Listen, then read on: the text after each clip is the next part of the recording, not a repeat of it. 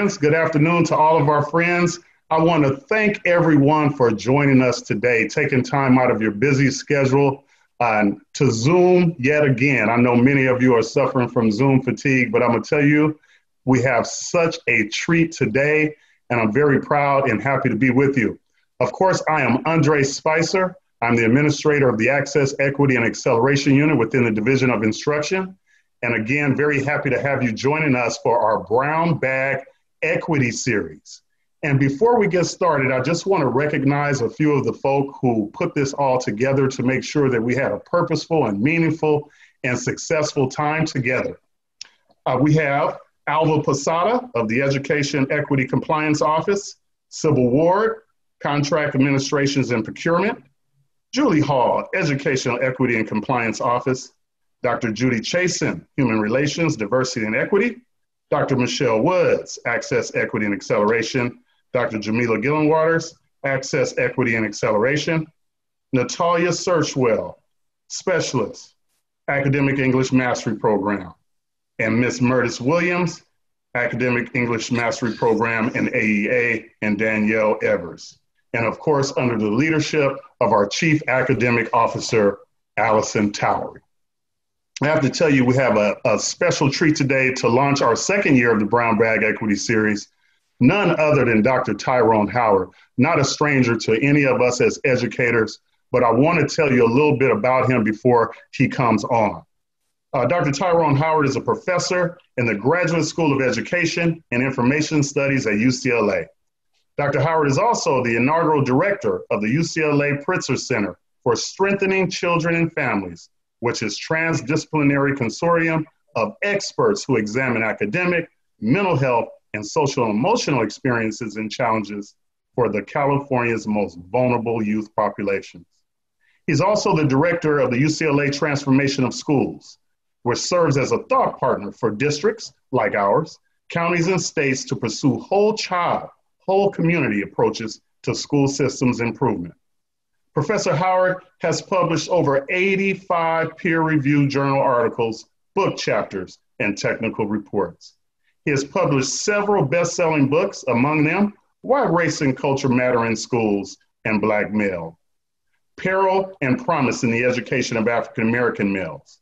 And his two most recent books, No More Teaching Without Positive Relations and All Students Must Thrive Transforming Schools to Combat the Toxic Stressors and cultivate critical wellness have become must reads for all educators. And I'm currently reading All Students Must Thrive myself, and I have to tell you, pick that up. Pick that up. It is an absolutely phenomenal read for today's educator. Dr. Howard is considered one of the premier experts on educational equity and access in the country. Dr. Howard is also the director and founder of the Black Male Institute at UCLA which is an interdis- interdisciplinary cadre of scholars, practitioners, community members, and policymakers dedicated to examining the nexus of race, class, and gender of school age youth. A native and a former classroom teacher of Compton, California, as am I. I never let the opportunity go away without saying that both Brother Howard and I are from Compton. Uh, Dr. Howard was named the recipient of the 2015 UCLA Distinguished Teaching Award which is the campus's highest honor for teaching excellence, and was named an American Educational Research Association Fellow in 2017 for his exemplary research on race and equity. During the last five years, Dr. Howard has been listed by Education Week as one of the 60 most influential scholars in the nation in forming educational policy, practice, and reform. And I can tell you personally from actually uh, researching a lot of Dr. Howard's work, even this biography doesn't give him justice. Please give him a warm LA Unified welcome. None other, Brother Tyrone Howard. Thank you, Brother Spicer. Always good to see one of my Compton homeboys doing well, and that you are. They always said we couldn't do much. They didn't know they was trying to bury us, but they were burying seed. And so here we are, the, the manifestation of that. So always good to be in the presence and honor of my uh, my folks, all the LAUSD warriors and champions and fighters for our young people. It's always an, an honor and a privilege to to be in your presence and, and to be able just to impart some of the, my thinking on these issues and these topics as they continue to come about. I definitely want to um, sort of take us in a slightly different direction today because I'm continuing to see some some real challenges before us and challenges that I think that require us to do the work we've always done, but also to step back for a minute because I do want to remind us that we are living in the midst of a global pandemic. And I just sometimes when I say those words, I don't know that we we we really are really fully sort of understand the gratitude gratitude of what that means. So what I'm doing in these moments is taking time out to kind of be a little bit reflective. So I'm to engage in the chat for a few minutes if you all don't mind. Uh, you know, I start off with, always with my big gratitude, my attitude of gratitude, a big thank you for what you do. But if you don't mind, would you take just a few minutes, please, and put in the chat for me, uh, what is it that you are grateful for uh, in this moment? As you think about everything around you, who and what are you grateful for? I think we need to start sort of speaking out on those people, those circumstances that we are grateful for. So just go ahead and put some, there you go, my health and family, family and friends. There you go. Just put it out there. We just need to make sure we really hold on to and recognize and speak on the issues, the people, the circumstances of what we are most grateful for right now. And I say that because uh, it's important for us to really recognize the preciousness of life the, the, the fragility that is our, our, our, our families, um, the fact that sometimes we get into these ruts of complaining about our jobs. But let us be grateful for the fact that we have jobs because there are millions of people out there today who do not have jobs. Um, we, we complain about our loved ones at times, but let us be grateful for the fact that many folks do not have their loved ones anymore in their lives because of this pandemic. So I just want us to really just appreciate this moment and be grateful uh, of, of what we have in our presence because the very things that you all have stressed here family, faith, friends uh, are the very things that are going to get us through this time. Um, these are trying times to say the least. Um, I know I have had some moments where I'm just like, this is, I don't know how I'm going to get through this whole pandemic situation we are in. But, but know that we will lean on those very sources that have gotten us through these times will ultimately carry us through to the other side.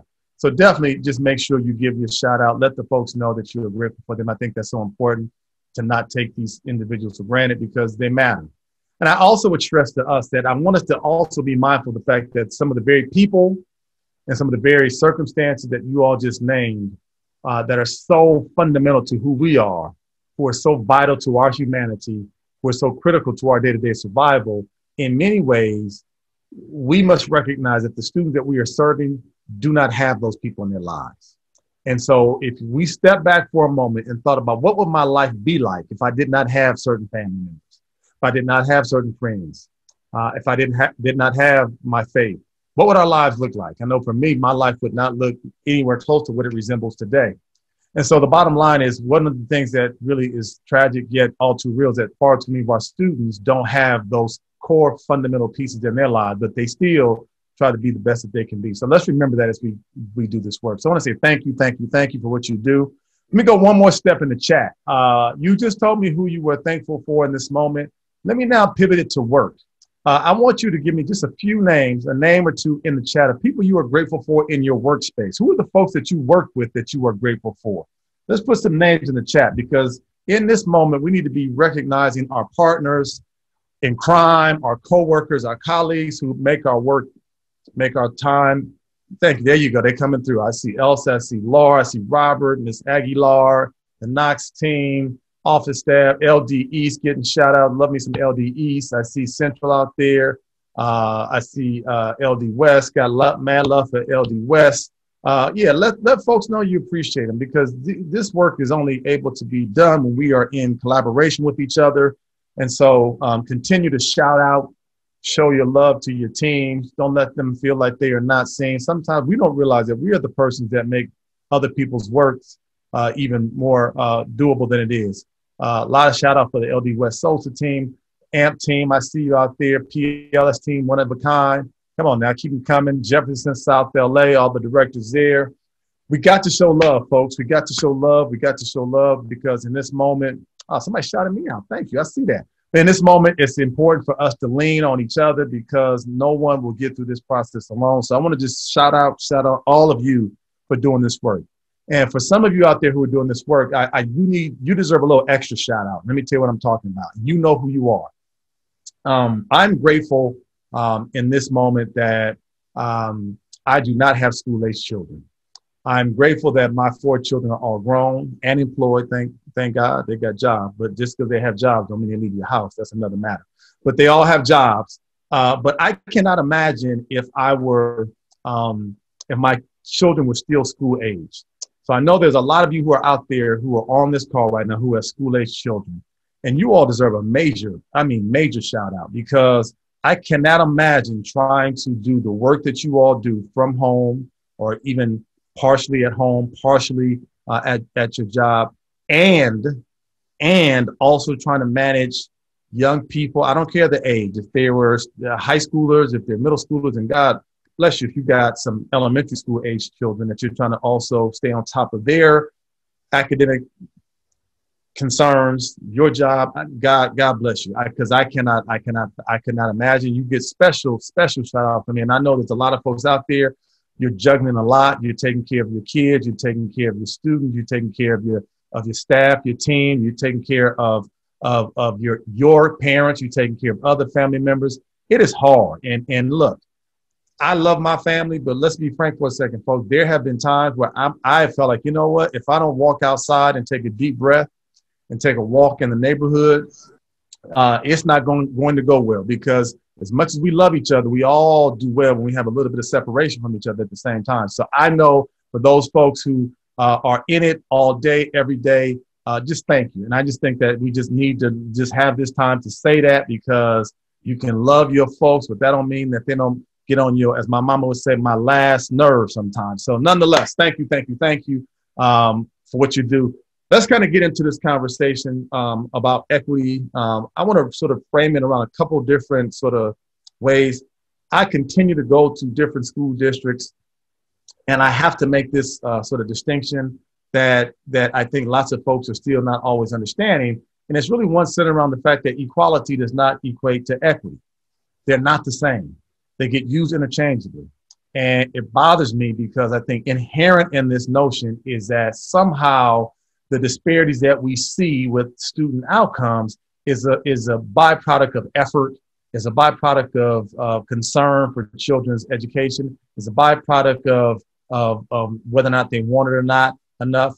And I'm going to have to keep pushing. I'm going to encourage you to keep pushing on this notion of equality and equity being the same because I think they're very fundamentally different kinds of approaches.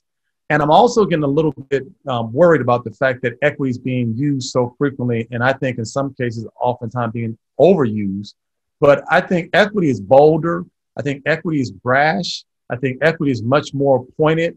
And I think if we really want to get to the heart of what it means, I think we have to think about equity says that we will meet people where they are. So, what does that mean?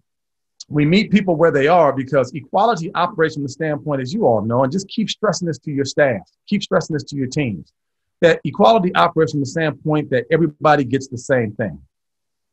And we know if we gave everybody the same thing, we would have what? More inequality.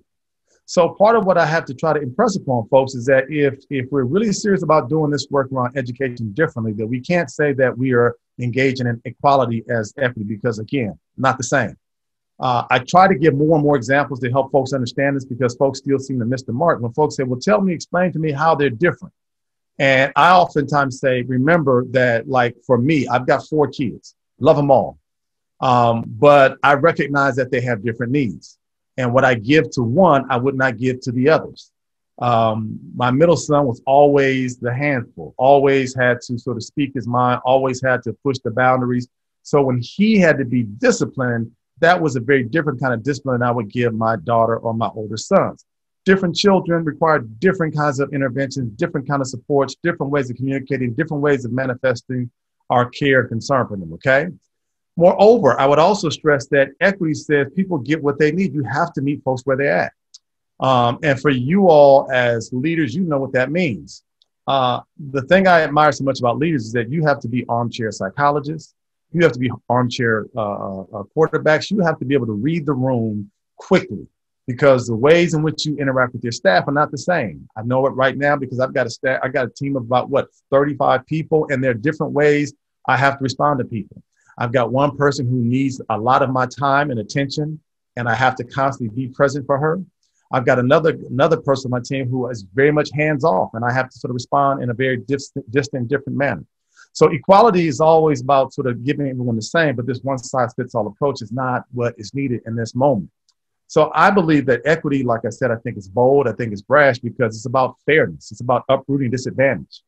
Now, some people will say, well, you know what? Well, if you give some people more than you give others, that's not fair. And I always respond to that by saying, well, the reality is this, folks uh, racism is not fair, uh, gender bias is not fair, um, transphobia and homophobia is not fair. Uh, yet, far too many of our, our folks that we serve deal with those kinds of realities on a day in, day out basis. And the bottom line is equity seeks to somehow respond to that or uproot that or somehow dismantle that. So let's be clear about the fact that equity is not about fairness because we're not playing the fair game. It's about recognizing that we all don't start from the same place.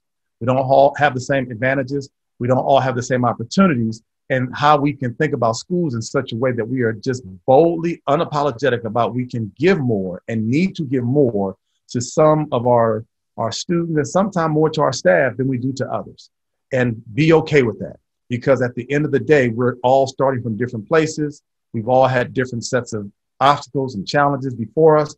And the goal with us is to try to figure out how can we as leaders begin to somehow eradicate some of those challenges, okay? So the question then becomes then what is at the core of equity? And before I move into the next uh, phase of what I think is at the core of equity, let me just say this because I'm going to offer some areas of, of, of where we can be more equity minded in our schools.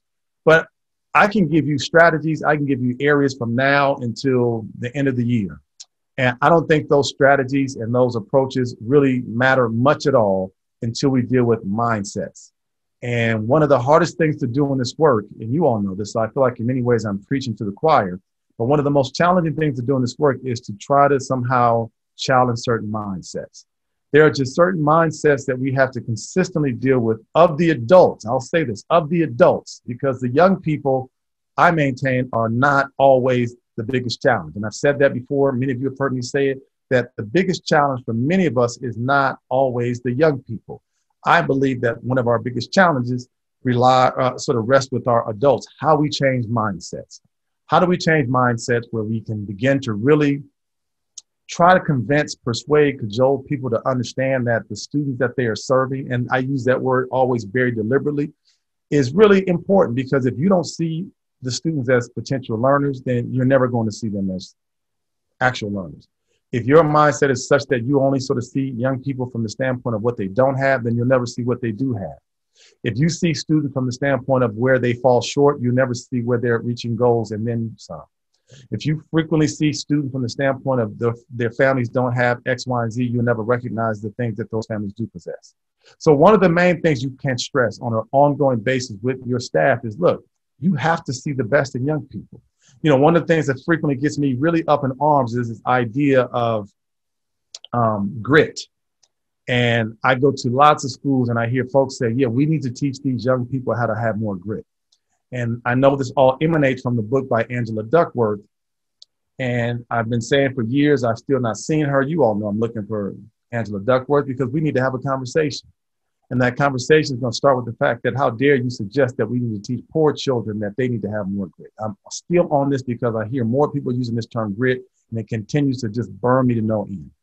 The idea that we have to teach poor children grit to me is just just woefully, woefully wrong. Uh, it's it's it's it's borderline unprofessional. I would say it's borderline unethical. And I think in many ways it's downright immoral because I would argue with every fiber of my being that the very children that you say we need to teach more grit to oftentimes possess more grit in their pinky finger than some of these folks possess in their entire bodies who say that they don't have grit. Don't tell me kids don't have grit when they manifest their brilliance and resilience and, and, and persistence every single day to log on to a screen, to show up to school in the face of adversity to get work done when they have all these different challenges before them. So please stop me with the grit because we don't need to teach kids grit. They already possess it. We need to just create the platform and the circumstances and the environments in our schools to allow their brilliance to manifest through their grit. That's what we have to do is get out of their way and stop saying what they don't have, but see what they do have. And I take this from personal because again, when I talk about kids who grow up poor, that's my upbringing, that's my neighborhood, that's my reality. Uh, and I would also be willing to bet that's the reality for a lot of you as well. So mindsets matter. The sort of mental approach that you have is so, so, so important because I maintain that our young people are constantly in the in the mode of trying to tell us, show us, demonstrate to us their brilliance. The question is, do we have the mindset to allow their brilliance to manifest itself? So important. If there's one thing we can stress is that mindsets matter. How do you see young people? Because who you see them as and how you see them will have a huge impact on what they ultimately become. I want to stress that point over and over again. I say that because I continue to have conversations um, with with lots of educators, and I wish I had put the slide here about some of the really key attributes about this generation of young people. Let me just kind of talk to you real quick about this. Generation Z are the group of young people that many of us are, are educating right now. Generation Z are the young people who were raised, I mean, who were born between the years of 1996 and 2010. Generation Z, okay? Stay with me real quick on this one. So, Generation Z, this is a big equity issue. Generation Z children, by and large, by and large, have a couple of ways of how they see the world, generally speaking. Not all, but many of them. And I'm, tell me if you, if you agree with this. So, for many Generation Zers, one of the things that matters is why do I have to do something? So we need to explain why things have to be done because this generation of young people need to know why I need to do it. Okay, that's one. Number two, a common thing for many Generation Zers is what does this have to do for me? What does this have to do with me? So how does this matter to me? So why do I have to do it? How does this relate to me? The third thing is um, how am I going to use this in the future? So for a lot of kids who say, why do I have to do geometry? Because I'm not going to do math once I'm out of high school. So A, why do I have to do this? How does it relate to me? How will it benefit me in the future? And then the fourth thing is, how much time is this going to take? Because if it takes too long, then I may not do it. Okay, keep those four thoughts in mind because this is mindset, this is equity. When you have a generation of young people who believe that, you know, you need to explain to me why I have to do it you need to explain to me how it benefits me, and you need to tell me how much time it's going to take. Because if it takes too much time, I may not just do it. So just think about those three factors for a second. Now, let me tell you how generational divides come into being, okay? Because I think this is one example of where we don't see the sort of the brilliance of our young people. Our young people are of the opinion, again, I just want to re- reinforce these points. Why do I have to do this? How does this benefit me? How long will it take? Okay, generational divide my mother used to have a saying when I was growing up, and many of you will know exactly what I'm saying. I need you to finish this statement for me. My mother would always tell us that kids are to be seen. I'll wait for the chat. There you go. All you come. There we go. Okay. Kids are to be seen and not heard. So many of you all had the same kind of upbringing, upbringing that my mom had. That I mean that I had. Right. Kids are to be seen and not heard. Okay. So stay with me for a second on that kids would be seen and not heard, which meant that young people could not participate in grown folks' conversations. Because if you did, what might happen?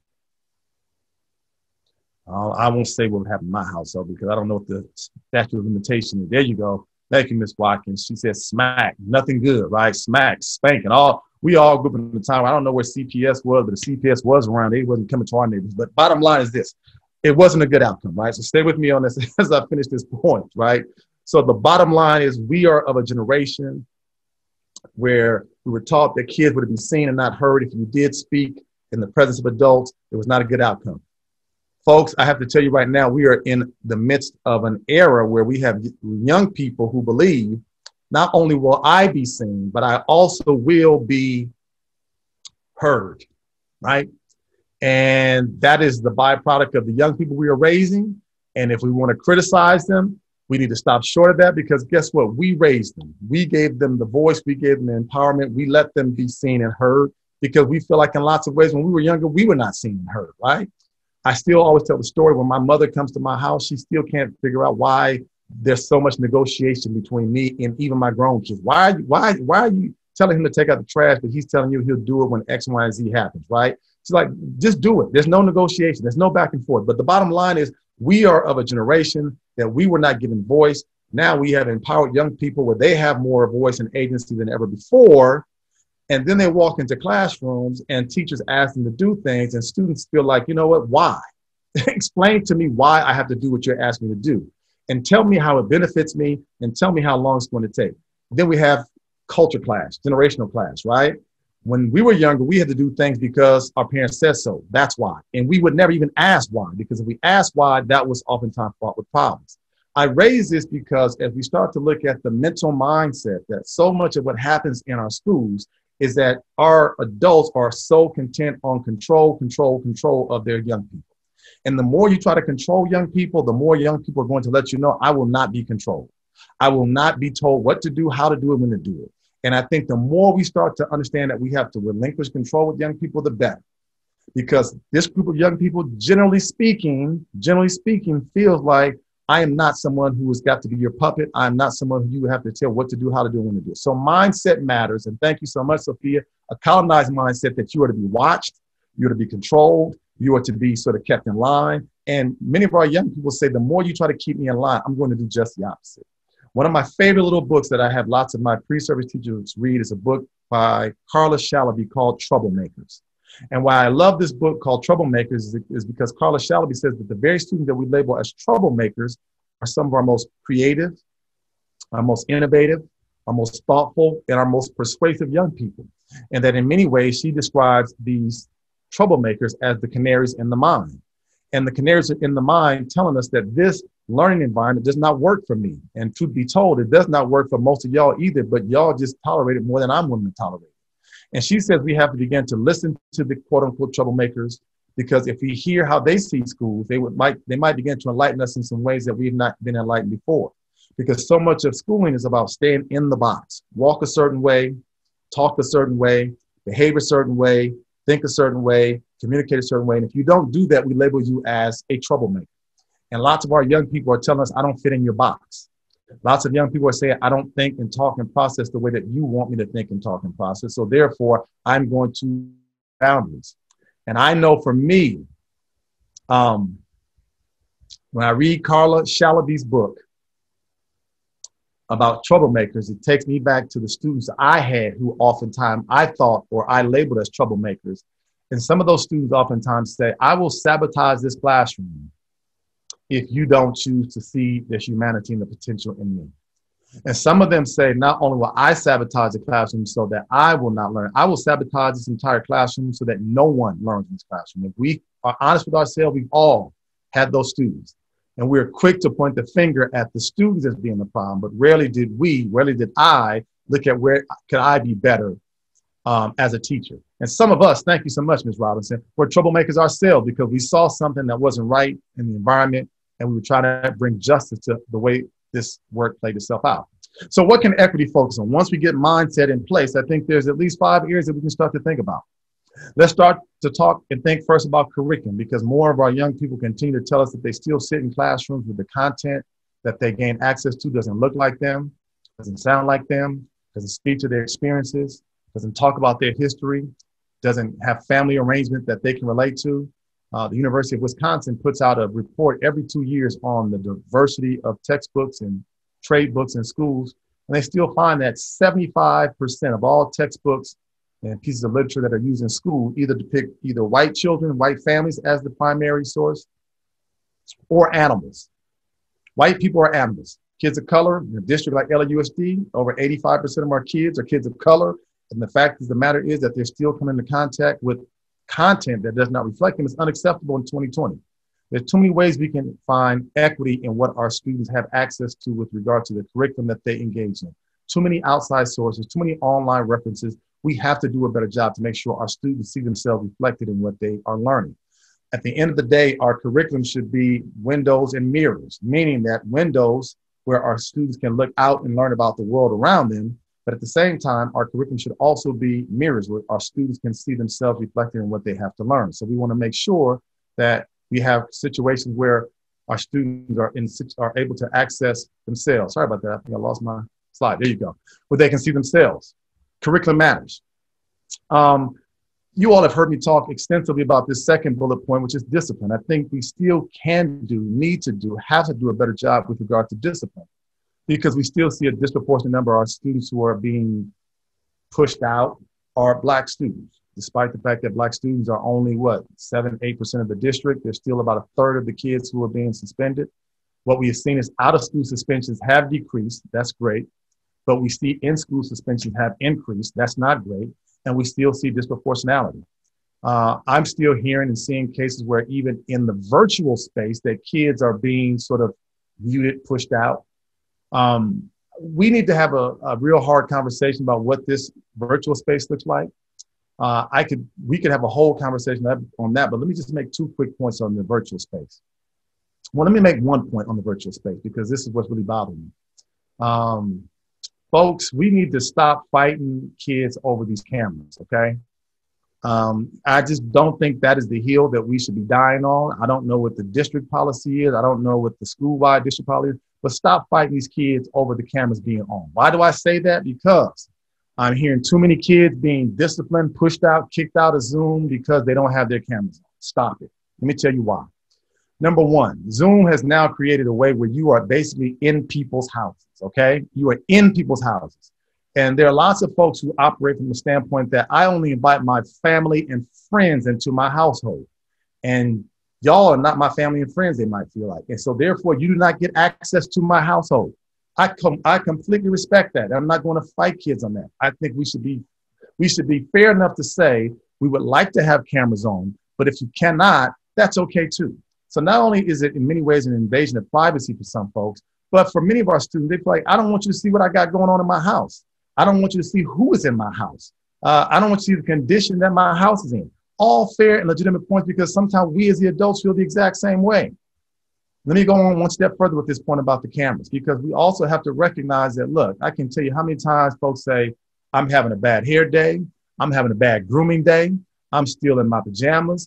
I don't want to be seen. Bottom line is that's fine. The fact of the matter is, at least the child has logged on and is at least making an attempt to learn. And I'll conclude on this point because here's what we also hear. Look, we know lots of kids are struggling with the internet capability. They don't have the best connection, right? They're in a household where we might have four or five people who are trying to get access to the internet. The internet connection is weak. What we have been told is this if your internet connection is not strong, one of the ways that you can help to hold on to some strength in your internet connection is to do what?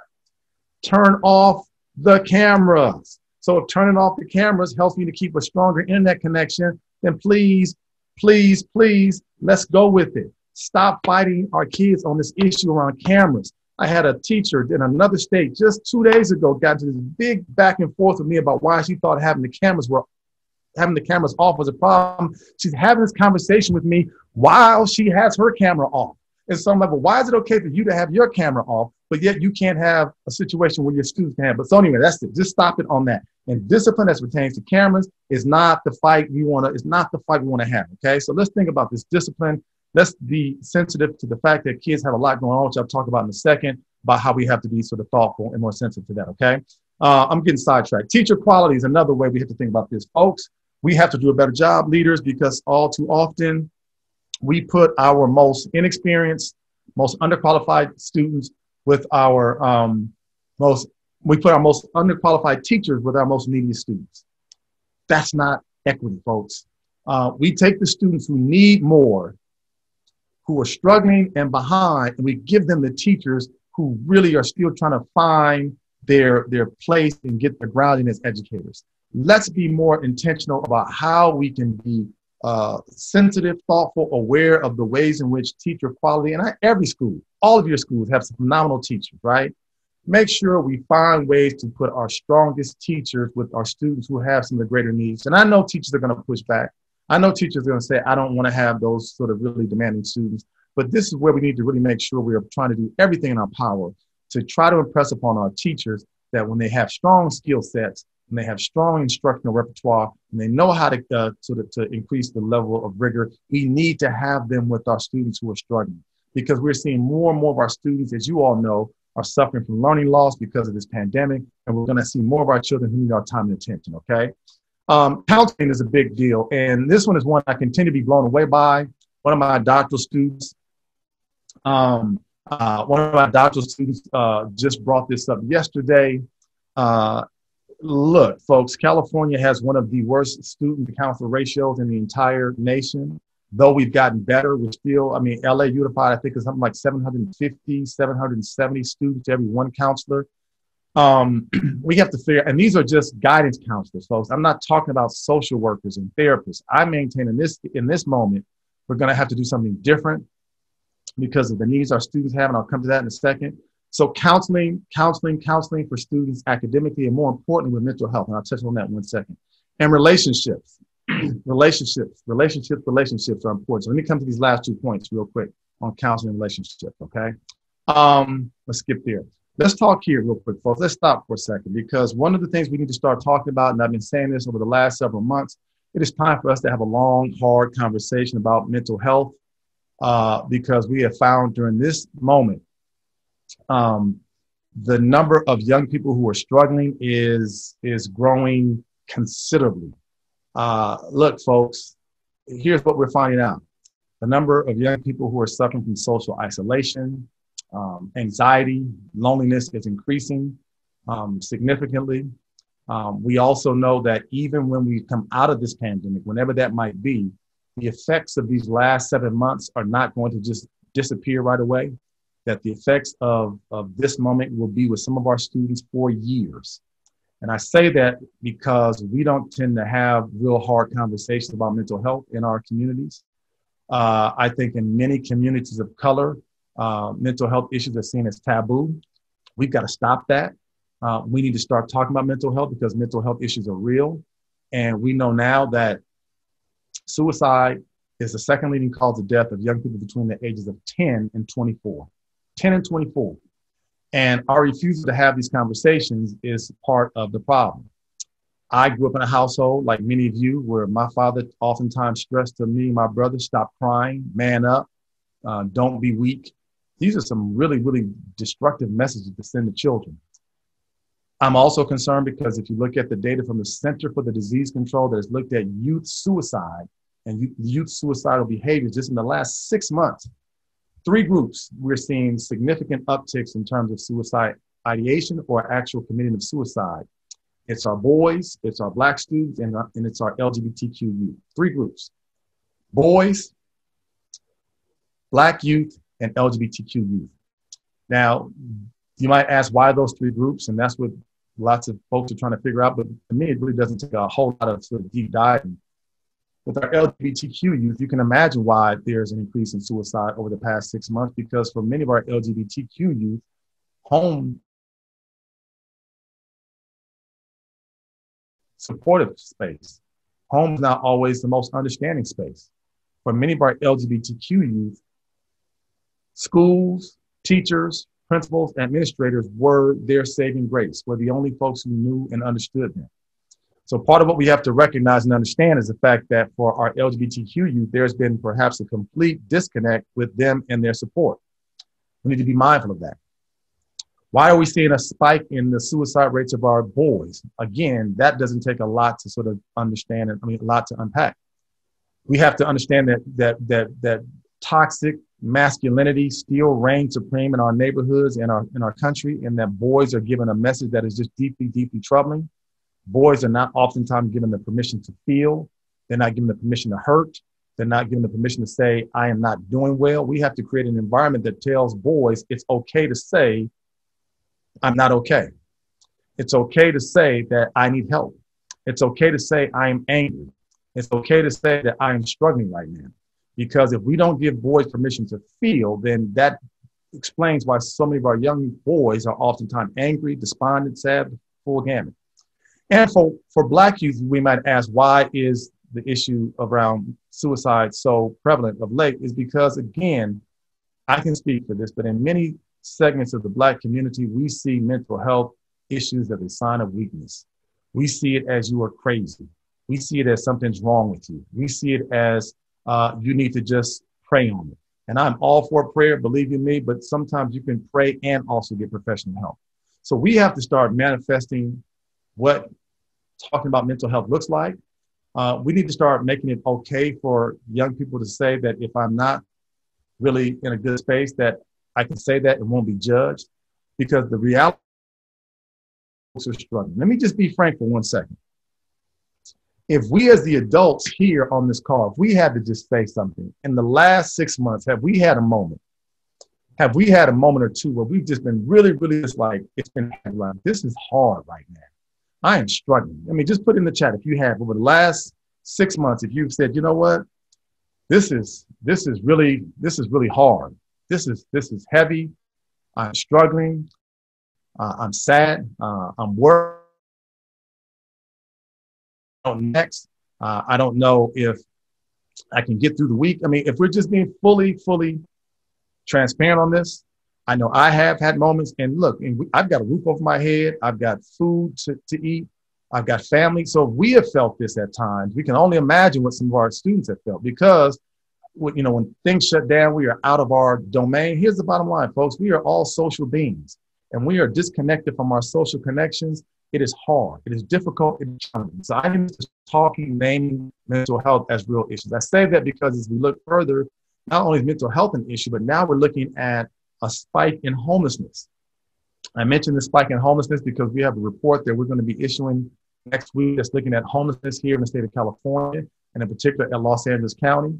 What the pandemic has done, as you all know, lots of families have lost employment, jobs have been uh, lost, and when jobs have been lost, we know financial issues become more of a challenge. And even though we have these eviction moratoriums, there are still accounts of families being put out. Even when the moratorium is lifted, we'll probably see a spike, a tremendous spike in homelessness. But even as we look at homelessness rates across LA County, we still see some unevenness with it. We see that Black folks still are more likely to be in situations where they experience homelessness compared to other racial groups in LA County. So when you have young people who are not able to stay awake on the Zoom call, don't want you to see where I'm at. So that's why I keep the camera on because I might be in my, my parents' car. We might be on the street. I'm just asking us to be sensitive to, mindful of, and aware of the realities that far too many of our kids deal with on an ongoing basis. And also recognize that as we're seeing uh, in, increase in mental health issues, anxiety, depression, bipolar, we're seeing an increase in the number of individuals who are experiencing homelessness. Uh, also are getting data from the CDC that says that this is not just a kids issue, but the number of adults who are reporting struggling with mental health or substance abuse is also increasing. That what one in three adults report suffering some kind of anxiety or depression, and the CDC experts say that you can almost assess that for every one person who admits it, there's probably another one who hasn't admitted but is also struggling with that. So that means we're talking about maybe 60% of kids, I mean 60% of adults who are suffering some kind of anxiety or depressive symptoms. That's a lot of people, folks, when you think about that. The other thing we have to recognize, we talked a lot about trauma, stress related issues are real. Um, suicidal ideation also amongst parents and caregivers. And we see also an increase in substance abuse as well. Let me say, folks, Here's the other thing I want you to keep in mind. Over the last couple of months, I've had a number of conversations with uh, Bobby Cagle, who's the Department of Children and Family Services Director, and John Sherin, who's the Director of Mental Health in LA County. We're seeing that mental health issues are affecting not only uh, young people, but affecting adults as well. So one of the things I want to stress to you is really, really check in, check in, check in with your with your people. Okay. Let me close out on this because I keep coming back to this, and I really want to stress this to all my leaders in these times. Okay. You all have seen me share this before. I'm going to share it again because uh, I am worried about my about our children first and foremost. Um, we also put a lot of focus, increased focus on teacher self care, but I still think we're not sort of prioritizing the degree to which we need to understand where our leaders are. I had a question, Dr. Howard, while we're waiting on our friends to uh, start to post in the question and answer. Uh, you and Dr. Noguera, Dr. Bishop wrote the uh, Beyond the Schoolhouse report. Great, great work. Uh, dug really deep in what uh, what's affecting our most underserved as it relates to the communities that we live in, the schools that we mm-hmm. go to, yep. everything from health and well-being. Do you see any progress that we're making there? I know the report is is uh, uh, pretty new, but mm-hmm. however, it was well received. Do you see us going in a direction where we can uh, improve equitable outcomes for our Black and Brown youth, our most underserved? Yeah, no, I appreciate that question. Let's just be very explicit for a second about that. That what we did with that report beyond the schoolhouse was to look at there was some accumulation of disadvantage for Black students in particular, and one of the things that has frustrated me with Los Angeles, and this is not just an LAUSD thing, this is an LA County thing, is that um, I don't think the kind of attention that we need to give Black students is what it should be. And I understand that there's this argument that you know black students are only you know seven, eight percent of the district, but we're still talking about tens of thousands of black students. And I say black students because in in mostly every academic indicator that we're looking at across the board, black students are at the bottom or very close to the bottom. So we wanted to put a very intentional spotlight on black students uh, to say that we recognize that some of these factors, many of these factors, were beyond the schoolhouse, literally, right? I mean, issues around um, poverty, issues around um, lack of investments in, in, communities where Black folks are, uh, you know, sort of lack of access to medical care, uh, factors that are beyond the school that we know are real, and and we we we know they have a sort of deep impact on Black children. Um, but there are some things that happen within schools that that we can't control. And part of what i've been concerned about is that because of what we saw happen over the past six seven months with the whole george floyd breonna taylor tragic death that there was a sort of re- renewed conversation around we have to do better to end systemic racism. We have to do better to end anti-black racism. So we were naming anti-black racism for the first time and lots of districts started saying we got to be very intentional about what we do for black students black teachers black faculty black staff. And so there was some ongoing movement in the conversation. The question that i would pose is have the conversations moved to real action yet? And i'm, I'm not sure about that just yet. I'm not saying that it hasn't happened. I'm just saying i'm not sure if we're seeing the movement happening where we're doing some real sort of strategic um, kinds of moves to have an initiative that targets Black learners, an initiative to say that we're going to put a focus on increasing the number of Black teachers, a focus on how we can support Black administrators. I just think that we have to be much more um, intentional on, on identifying interventions, strategies, programs, targets that have Black children, Black care, uh, caregivers as the focus. So that way uh, we can begin to see the talk just doesn't stay as talk, but it stays, it, it transforms into some kind of real action, if that makes sense. No, it does. And thank you for that. Thank you for that. It's important work. And I think that it will, I'm hopeful that it definitely will grow. So thank you so much for that. Mm-hmm. Okay. I've just been told that there has been Zoom outage. So that was our issue there. Okay. And we appreciate everyone's flexibility. It looks like just about all the participants came back. So thank you to them. Thank you for them. Tells you how important uh, the message is today. Yep, so we yep. did have a couple of questions. We have another question, but I think as we reload, as we reloaded, I'm sorry, uh, the questions disappeared. Does anyone yeah, from the yeah. panel have a question? I can. Uh, I still have access to the questions. I'd be happy to share them. Sure, please. Dr. Chasen. Absolutely. So uh, this is one that came in earlier. And it says, I find that some experienced teachers want to have challenging or higher needs students. How do we address this resistance? Yeah, I think I think we need to get to the root cause of why there's resistance in the first place. So much of what I try to impress upon teachers is that we cannot just look at surface level behavior and then have real harsh or punitive reactions. And that's what happens far too often. Typically, when students, and this is from all my years of teaching and of watching teachers, typically when you get resistant students, there's a, there's a, there's a root cause, there's a reason why. And that reason might be uh, I'm a struggling student. That reason might be that teacher said something to me last week that I still haven't forgotten about. It might be I didn't have anything to eat last night. It might be I'm in a real difficult situation at home. It might be that the teacher never finds ways to sort of say, you know, complimentary things to me. I think that we have to be able to not be so quick to get pulled into service level behavior when we, we have to remember we're talking to student, children here. They're children. And, and, many of our children we know have some complex circumstances and, and complex needs. It requires and this is the one word I would stress over and over again is relationships, relationships, relationships, relationships. They matter the very students who are oftentimes the most resistant in our schools, you can rest assured oftentimes there are teachers who can connect to those students. And the one, the one reason why those teachers are able to connect to those students is because they are able to formulate relationships with them. They listen to them, they learn from them, they try to understand what the home life is, they try to figure out more about what those students' strengths are. So, and understand that relationships are built upon trust, and trust takes time. And I get teachers who get frustrated because a student won't respond to me in the first three weeks. Well, mm-hmm. guess what? For a lot of our young people, they are not going to show that they are committed to you in three weeks. They want to see how well will you stay invested in me over three months. So it's earned, it takes time. And I ask teachers to understand you're playing the long game here, and you can't look for some immediate kinds of reactions for students who have oftentimes not been done well by adults to just open up to you when they don't know if they're going to be burned again. So, yes, students resist. Sometimes that resistance is a form of protection. Nice, nice. Thank you for that. One more question before we, we close, uh, Dr. Howard. Um, Rebecca Johnson is asking, what resources would you recommend for moving the conversation of equity versus equality? You know, yeah, data, data, and more data. You know, one of the things that we do with schools is we oftentimes take a look. I, I ask for their discipline data, and I'm always blown away by when we share their school-wide discipline data. They say, "Well, where did you get that from?" I'm like, "This is the data y'all gave me. This is from your school site."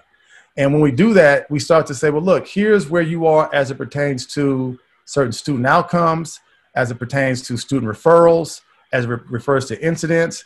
And we start talking about what's the root cause, what explains this? Um, why, why do we see more of one particular group of kids, let's say language learners, not gaining access to gifted and talented programs compared to students who, are, who speak English as their first language? Uh, the root causes behind that begin for us to have a conversation that speak to different pathways, obstacles, and that if you go into a classroom, what, what really good teachers do, they make sure that they are constantly checking on the students who have greater needs.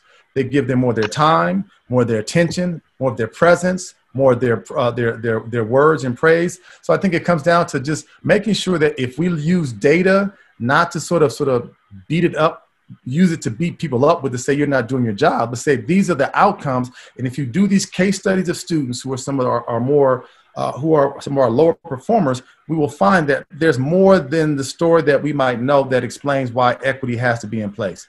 If a student has not had consistent housing for the past six months, we got to do something different if a student has been in foster care for the past three years and been in six or seven mm. different placements, that requires us to do something different, right? Uh, if a student we know has been held back three times, that requires something different. And the list goes on. So we've got to do a deeper data dive on our students who are more, uh, who are having difficult outcomes to say that we can't keep doing the same old thing and expect a different outcome.